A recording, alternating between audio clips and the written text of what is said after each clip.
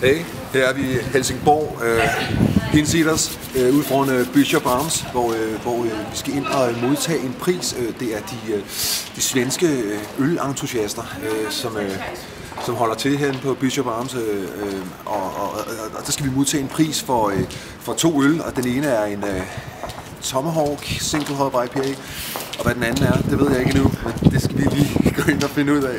Og så øh, vi glæder os selvfølgelig rigtig meget. Øh, og nu kan vi heller ikke holde varme mere, så nu er det ind. Nu börjar vi med eh, utländska representanterna här. Andra året i rad vi delar ut diplom. Vi gör skojs Det innebär inga, inget mer än att vi tycker om utbudet på respektive pub. Så ett litet diplom.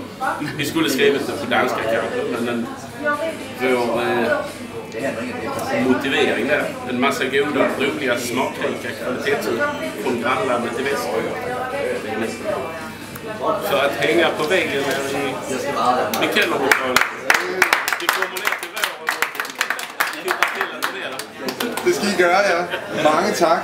Wow. Tusind tak, jeg er rigtig glad for det.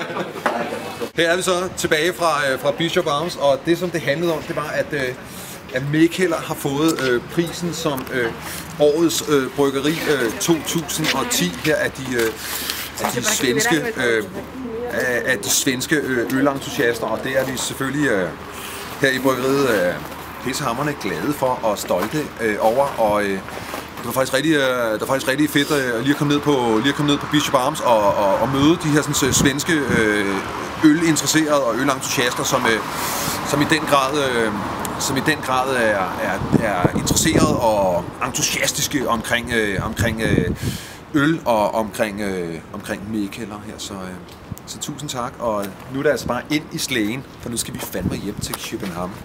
Tschüss!